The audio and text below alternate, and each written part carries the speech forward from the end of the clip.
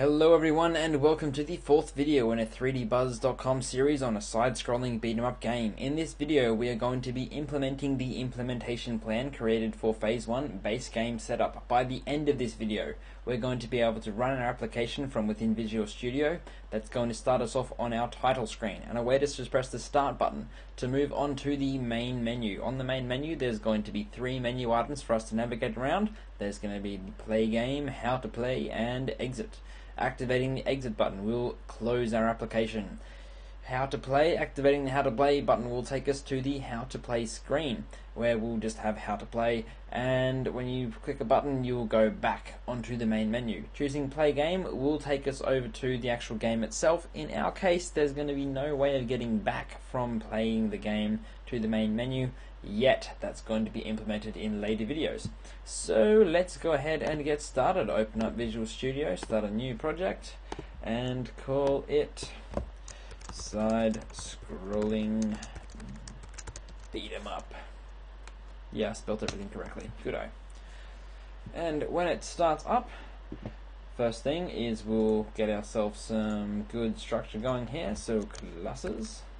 Hey, why didn't it go ahead and rename this folder for me? Why are you deleting things? I said rename. There we go. We're off to a good start. Add a new folder into the content directory. Textures. Add a new folder sounds in the wrong spot of course and add new folder for music.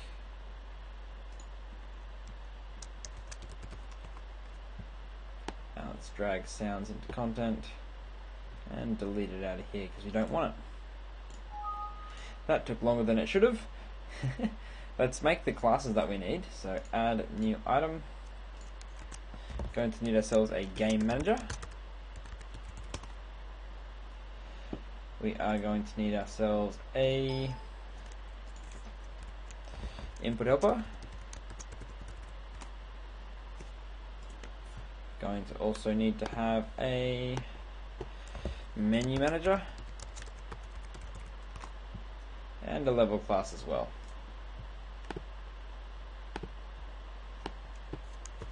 Level. There we go. We'll leave all the cleanup for those ones for just a moment. First off let's work on making our game one class do what it needs to.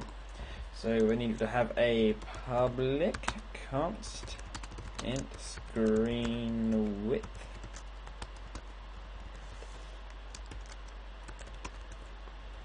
and 600 for the screen height.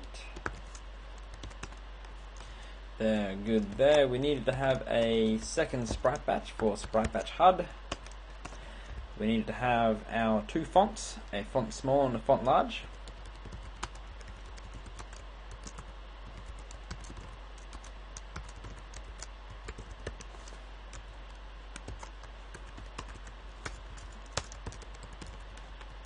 We need to have our texture 2D, static texture 2D. Naming convention is going to be anything that is a sprite starts with SPR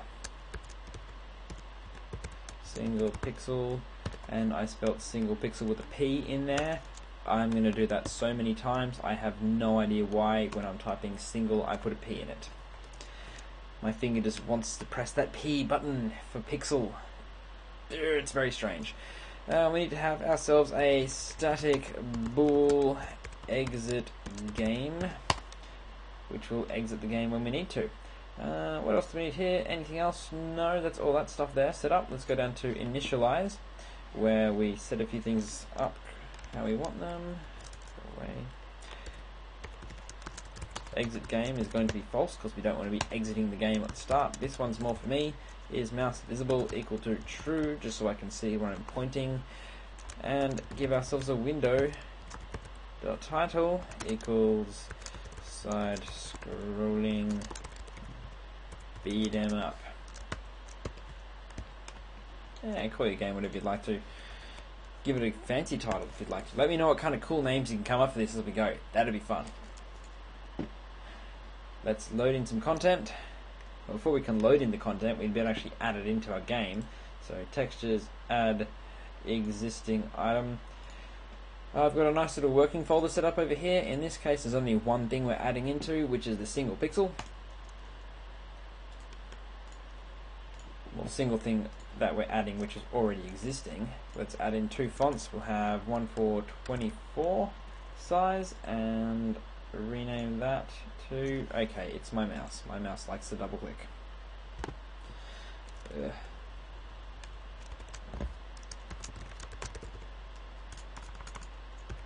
going to be small, be small. We're going to need another sprite font as well. Which we'll call font large. And I can't remember what size I set it up to. I'm going to make it 74 because I think that's what it was. If we need to, we can come back and set it up and change those figures later. Why do we have two sprite fonts? Well, if you make a take a small font, let's say size 14, and you needed to take up mm, a quarter of the screen, then you're going to be expanding a mm, bitmap image, I guess you could say, which will be giving you a very pixelated image and not look very nice. So if we ever want large text, we can have our large size font looking pretty. Font large equal to content dot load. Sprite font. Textures. Your textures. Font large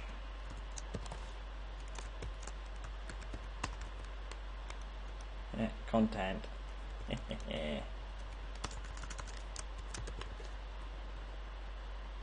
Content. Type properly Richard. As well take this line as well and use it for our sprite font. Uh, for our single pixel I should say. Uh, single pixel. Yeah, did it again. Stupid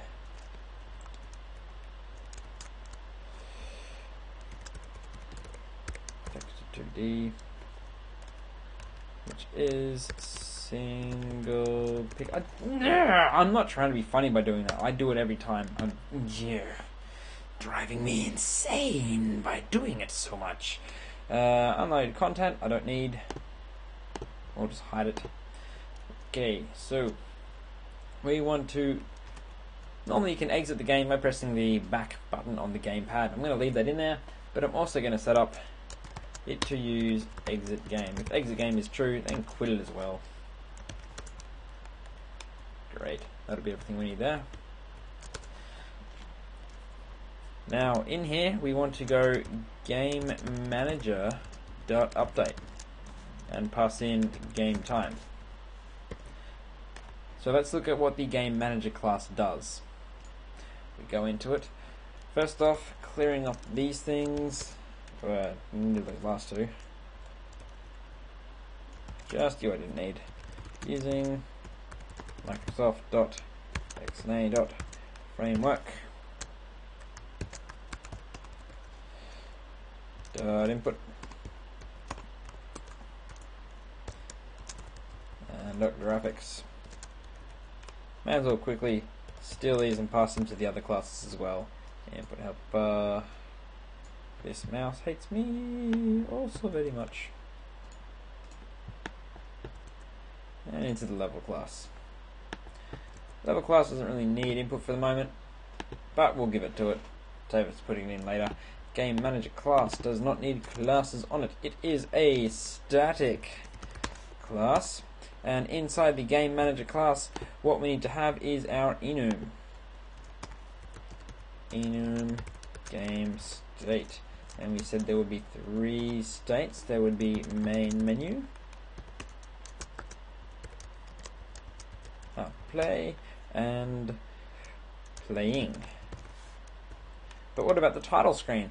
Well, the title screen is actually going to be taken care of inside the main menu class. We'll get into that in the next video when we set up some different graphics for these to make them look a bit prettier and give them the overall theme that we want this game to have. So public static game state game state equal to game state dot main menu. Sound like a skipping record. public static list of type level. Conveniently called levels equal to a new list of type level. So this contains all the different levels of our game. And of course to be able to do that or to have an easier way of keeping track of which one we're going to be in we have an int called current level and we equal it to zero because we're on the first one. I don't like that error there so I'm just going to quickly clean up the level class. And that takes care of you. So we had a public static update and a draw call. Update which takes in game time don't like typing in game time every time, so I call it GT. GT for game time, not Gran Turismo. Public static void draw sprite batch. I do the same thing for sprite batch, especially when I've got two of them. SB and SB HUD.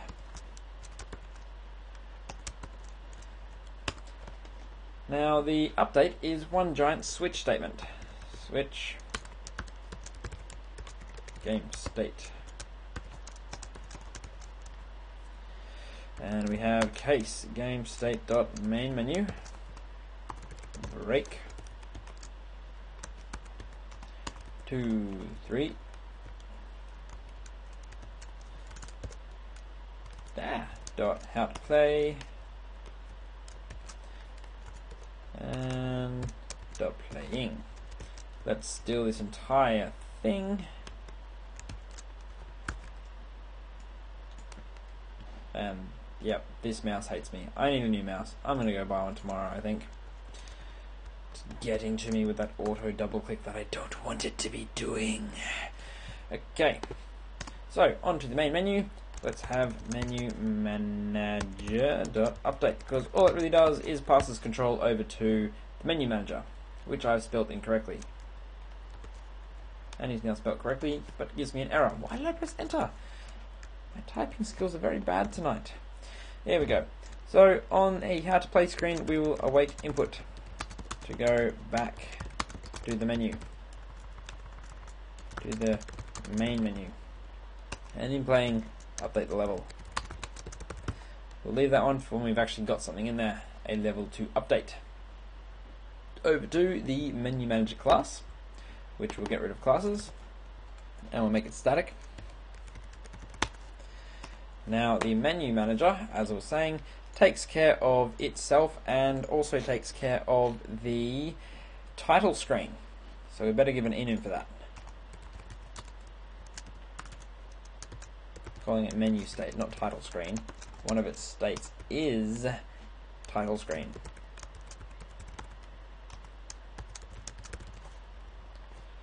Class manager. Well, the menu manager has menu items on it. So let's make a struct for them.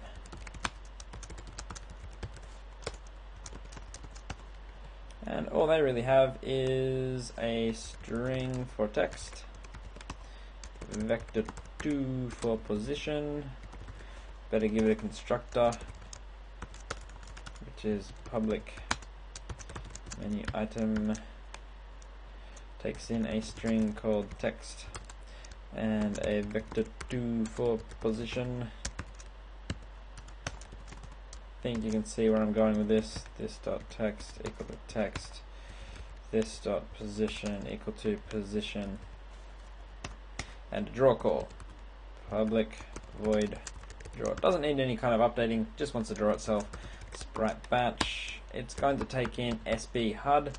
We'll get into that one in just a second. Color draw color. Takes in a draw color because it needs to know if it is selected or not, and that is all handled by the menu manager class itself. So in here we call sprite batch HUD dot draw. Reason I'm using our HUD one, our HUD sprite batch here, and not the normal one, is the sprite batch itself is going to be using the layer depths, and I don't really want to have to type in, give it a texture and a rectangle and a source rectangle and a color and a rotation and an origin if we wanted to, a scale and a sprite effects. No, I just want to be able to say this. Game one dot font small text position draw color. There are far more reasons than that, which we get into when we actually start using the other two. When we start using the mm, sprite batch with layer depth. Why do I have a problem? Because it's draw, not draw string. It's good now though. Go away. That'll fix you. Okay, so the menu managers, update call. Well, not the update, let's look at what's actually got in it first. Right here, we need to have a color, or a static color, I should say. After all, it is part of a static class. Standard equal to color dot white. So if our menu item is not selected, it will be drawing itself in the white color. Static color color selected equal to color dot. If it is selected, I want it to be light blue. And let's clean these up so that they're not capitalized because they're privates. That's those. We need to have a static list of type menu item called menu items. New list of type menu item. We don't need to have a, a constructor for the static class. It's all going to be making itself when it makes the menu items in the update or in the initialize method of the game one class. Static. Int. Current. Menu item equal to zero. And mm, public static.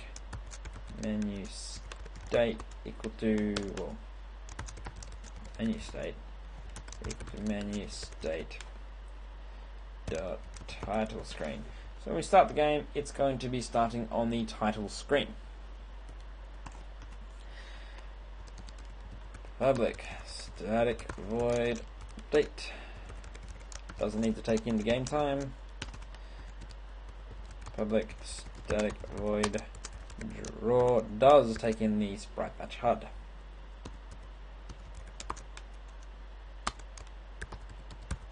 Which should be getting from the game manager class. Once again, we are using a switch. Switch statements are great. There's probably going to be another two or three, possibly even four in this video alone. Menu state case menu state dot title screen break case menu state dot main menu break so on the title screen, we await input to move on to the main menu.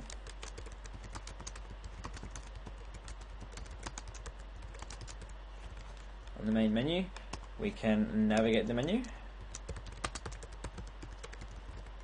And we can activate the menu items.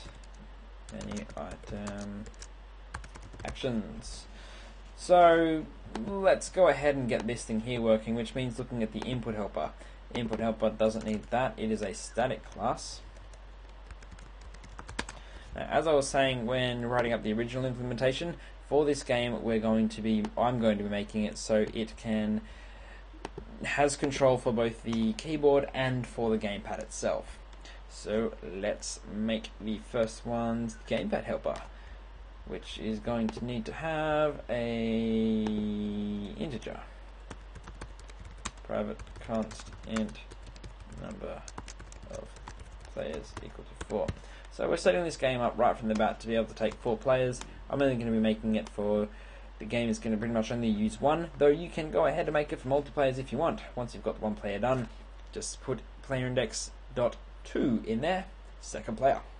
Nice. Public static. Gamepad state. Oh, gamepad state. Really not going to be explaining this one too much just going to be typing here.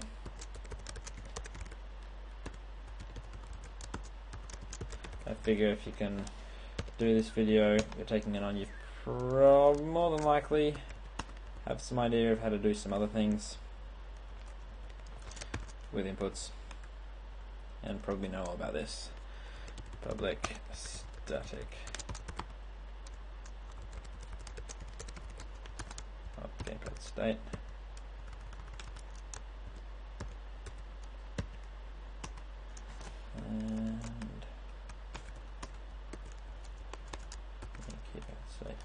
Now I'm going to get confused by putting OGS and OKS, so I'm going to summarize these ones. Old gamepad states feed me a player index. Cast to an int. Org. Old.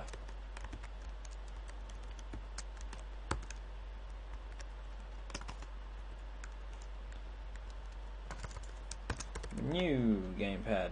Gamepad.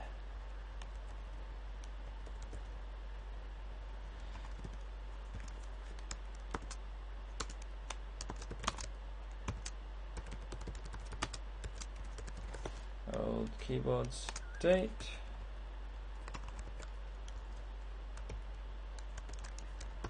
New keyboard state. Alright, so we need to have a public static void method called update states which will update the input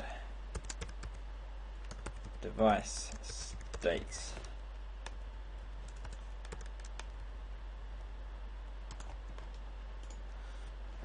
and how does it do this? Pretty simply just going to loop through all the different gamepads we've got and then update the keyboard. So update gamepads for eh, for in i i was the number of players. Old gamepad state. I equal to new gamepad state. I set old to new and then new update the old state with the new state and then update the new state with the latest new gamepad state. I gamepad dot get state takes in a player index but we can go ahead and take an int and cast it to a player index. Nice. What's wrong with you? ah you did that. Go away. That's better. Update keyboard states. Old keyboard state equal to new keyboard state. New keyboard state equal to keyboard dot get state.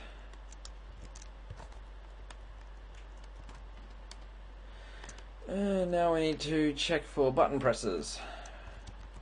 Public static bool was button pressed player index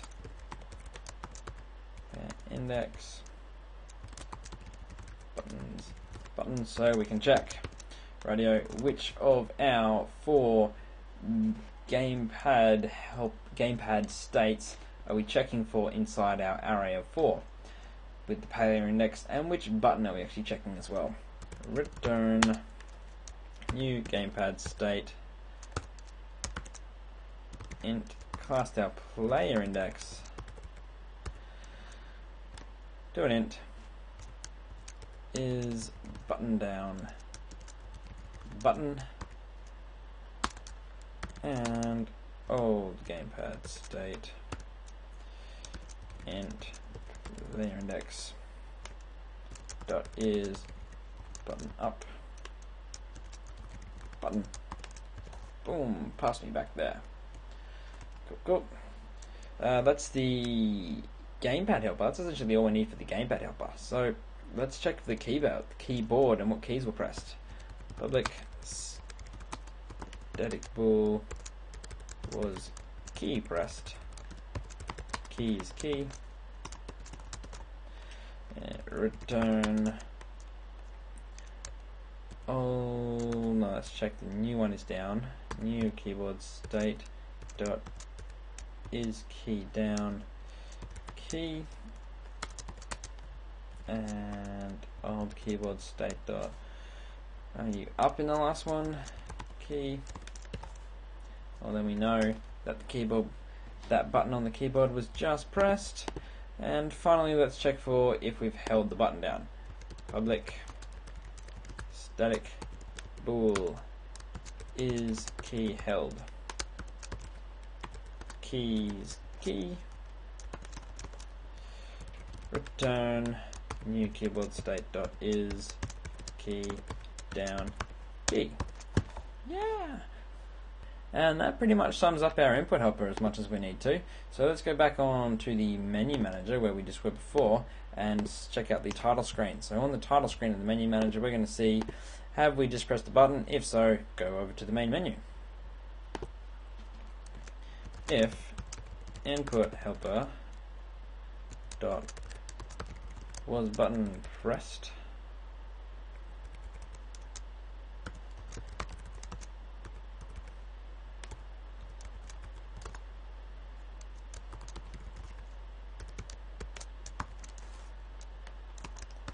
Okay, was the A button pressed or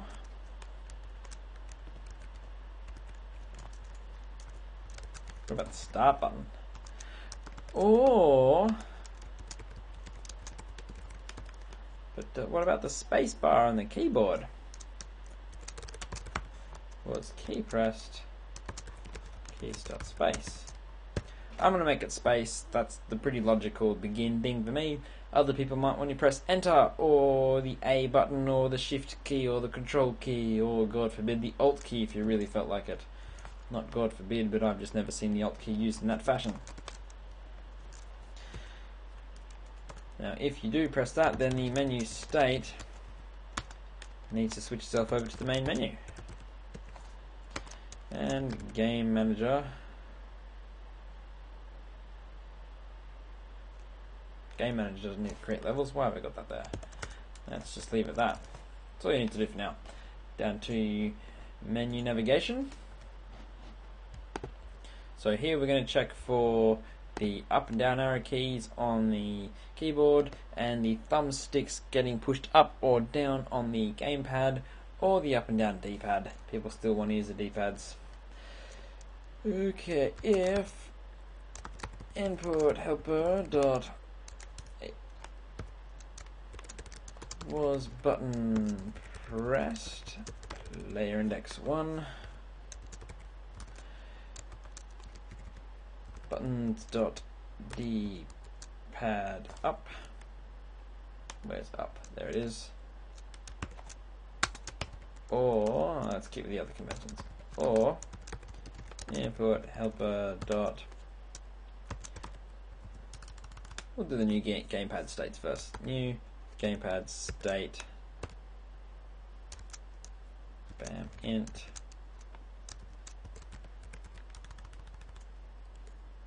yeah was. Player index dot one. What was I thinking? Once one. Dot thumb sticks. Dot left. Dot y. 0.3 and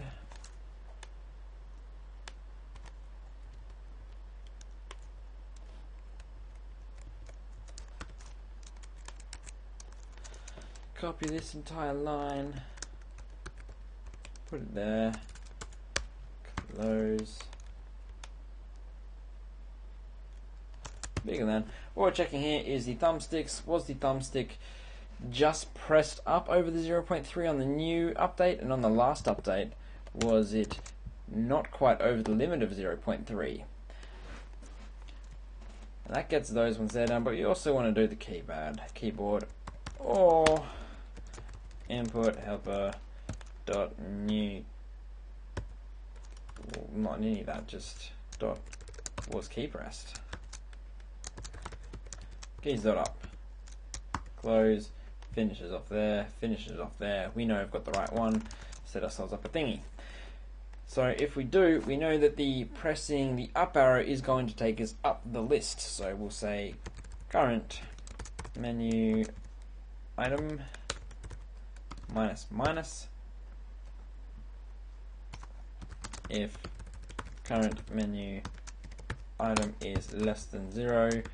So if we've gone up too far, we need to loop back down to the bottom of the list. Current menu item equal to menu items dot count, but we can't go for count because it's zero based, so we'd better minus one off there to make sure it fits, and that works perfectly fine.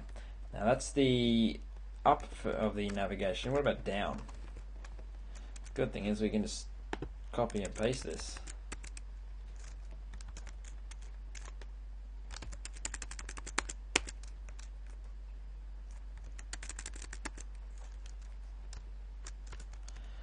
Okay, so was button down to change up to a down we just have to make it a negative and keys dot down. Make you a plus. And this one's different. We go bigger than. If current menu item is bigger than or equal to menu items dot count so if you've gone to the menu item that means you've gone down 0 1 2 press it again that's going to be 3 you've gone to count well that's higher than the 0 1 2 because it's a zero based list so we go back to the start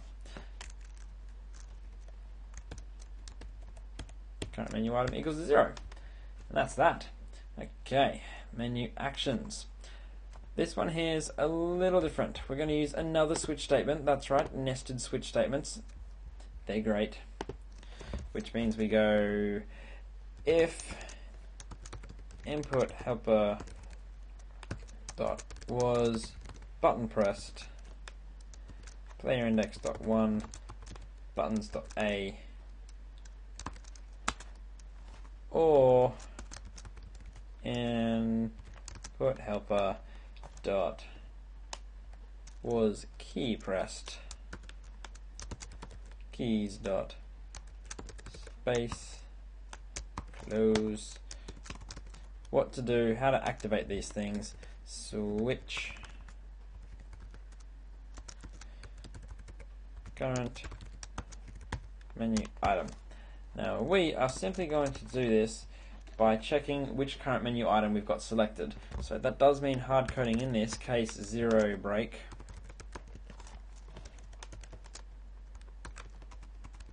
One and two. Wow. And control paste. There we go. Two, one. We could go ahead and change this to say current menu item dot text if you wanted to and then have this one here checking begin game entirely up to you I just think it's easier to do it this way because I know what my order of buttons are and I can do things like this begin game play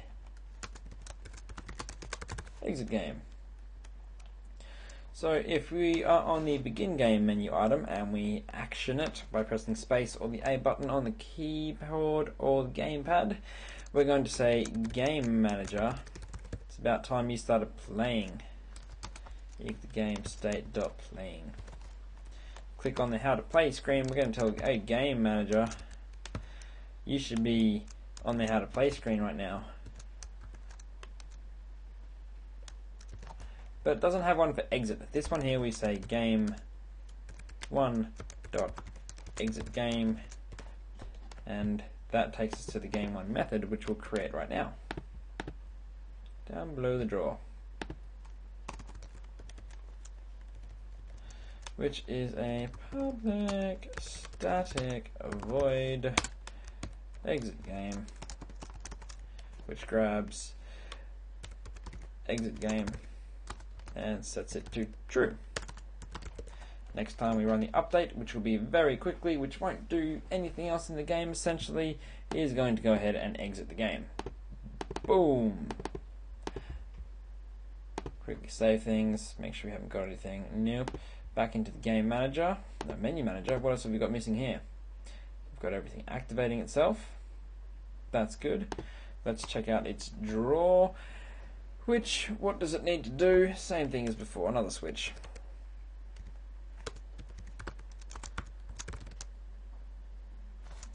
Menu state. Case, menu state dot. Title screen, break.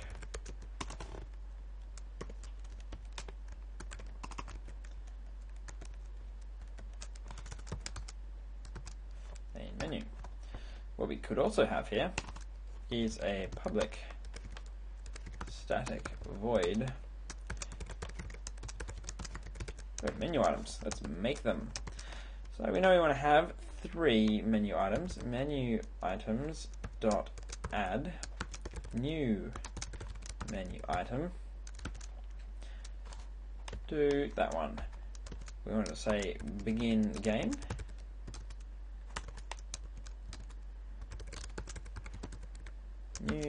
2. Let me just check where our positions were on these ones. Don't I'm pointing in weird and wonderful random wacky spots. Here we go. 45, 50 from my notes. Close off the add, add, add. Copy him.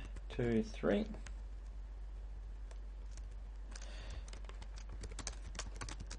How to play and exit game.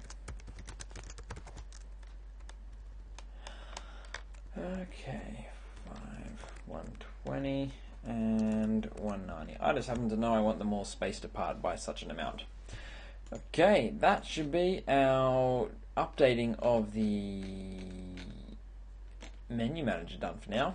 So let's go back into the game manager, check out what it needs to do.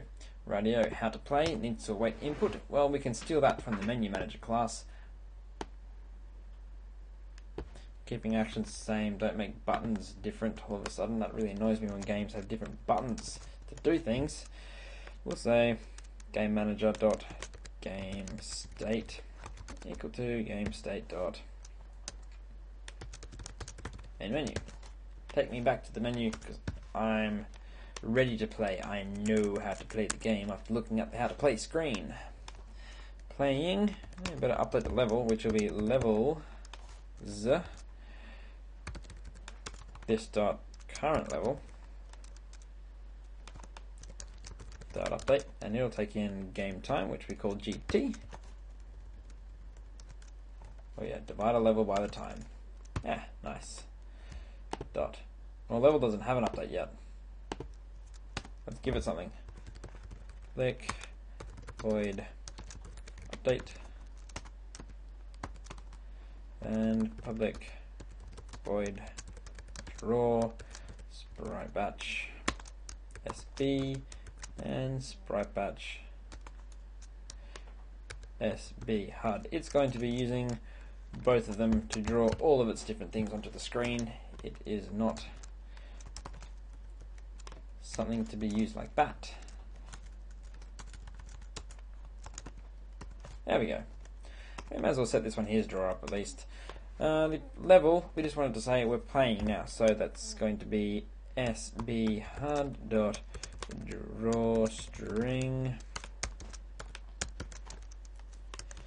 game one dot font. Let's use small one. Text. Playing game. New vector two. Where should we put this one? Yeah, let's put it at 2020. No, 2150. Sounds more exotic. Color dot white. Now what we also want to do is we're going to make sure each of the different states or each of the different screens that we had is going to have its own different color to be showing us so we know where we are. So we'll say SB HUD dot draw. Game one dot SBR single pixel new rectangle which is going to be 0 0 essentially take up the entire screen. Well not essentially it does. Game one dot width. Game one dot screen height. Color dot dark red Hey, I just realized I typed in single pixel correctly, but then I did use IntelliSense for that. Maybe that's why. In fact, not maybe. Let's just go with that's what it is. On to Menu Manager. Menu Manager has got its update all set up here. Yes, yes, yes, yes, yes. It does good. Yep. Uh, title screen. What do we want it to draw? Well, from the title screen, we want it to tell us if you are on the title screen to be pressing the start button to begin. So sb HUD dot draw string. Game one dot let's use the large one. Title screen. New vector 2 mm, 187 100 making up figures there as I go. Color dot white. Sb HUD dot draw string. Game one dot. Font. Large. Font large large. I think large will do not large large. Press start. New vector 2 let's move it in a little further and make it a little lower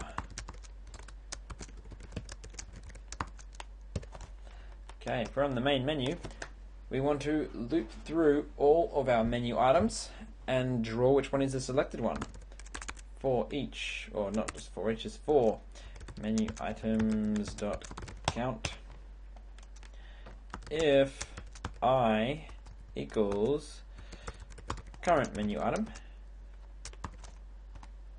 then we say menu items i dot draw, pass it in sprite batch HUD, and we know it's currently selected, so pass it in the selected color. Else, you're not selected, you're one of the standards.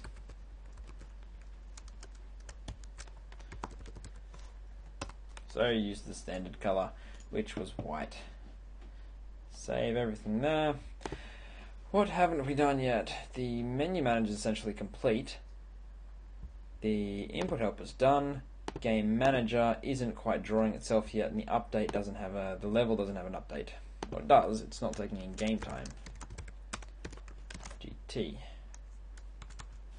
GT close bracket. Thank you. Levels fixed for now. Menu manager, input helper, game manager is not done. Needs to be drawing properly. If it's on the main menu, main menu, then we need to say menu manager dot draw. Which one do you want? You want SB HUD. Well, you may have SB HUD. If we're on the how to play screen, we want to draw some text to the screen that says how to play.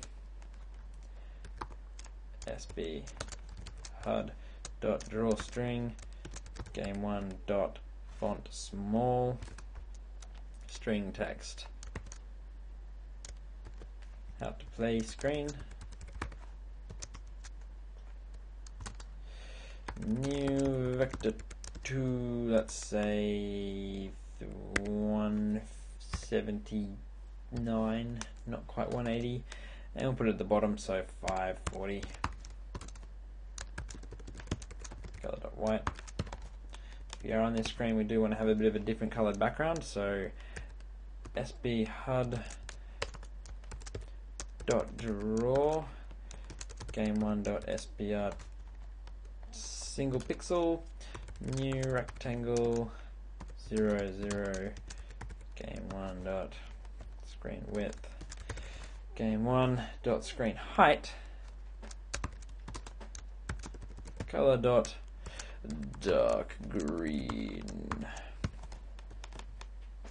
That's that done. Now from the playing, then we pass it off to the level to draw itself. So levels current level dot draw takes in sprite batch and sprite batch HUD. It may indeed have them because it has use for them in the future. That's the game manager class taken care of, I believe, into game one now, where we need to update our input helper.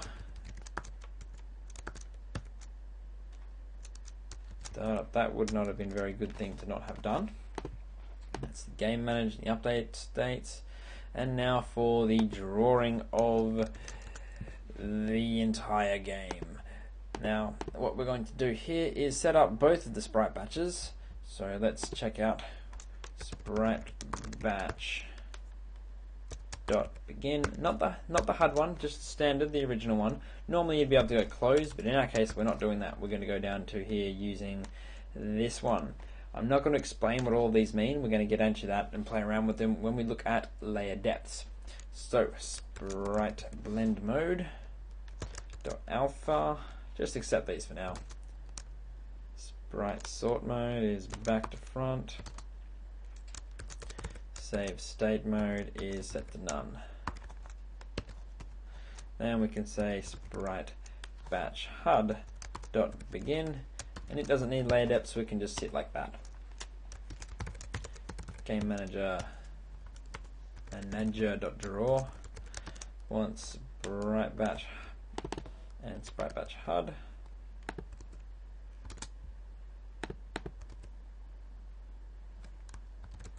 Well, that kind of backfired on me, didn't it? And then we need to end the two. Sprite batch dot end and sprite batch HUD dot end. So what this does is when you call the end, that's when it actually gets drawn.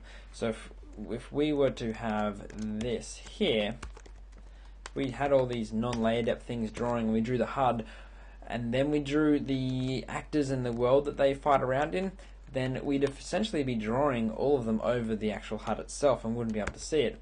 So by putting this here instead, we then draw everything from the entire game world and then we draw the HUD on top of it and can see everything. Now that I believe is everything we need. There's probably going to be something I missed, but let's hope there isn't and go for it and press the play button.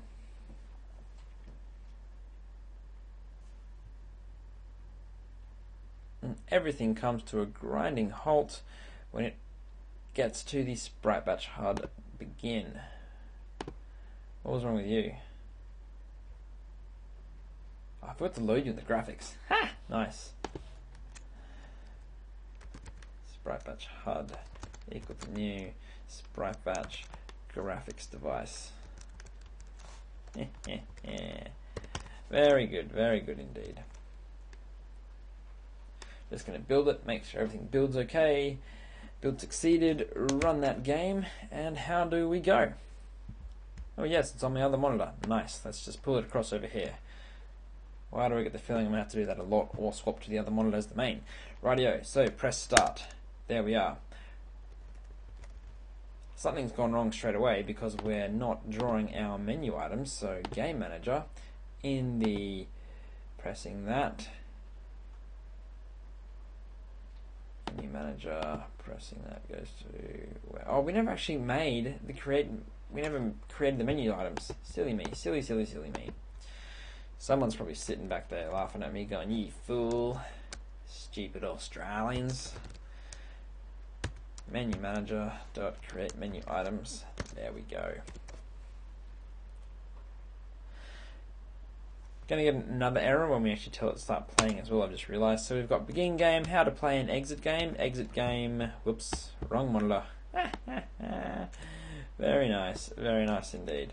Begin game, how to play exit game, exit game, exit the game, just like we wanted it to. Press that, bring it back across, get in there. We can go to how to play screen, how to play soft screen. nice, bring it back begin game will give us an error because we forgot to actually make a level anywhere. So let's quickly make a level. We'll do it below you. Public static. Create level.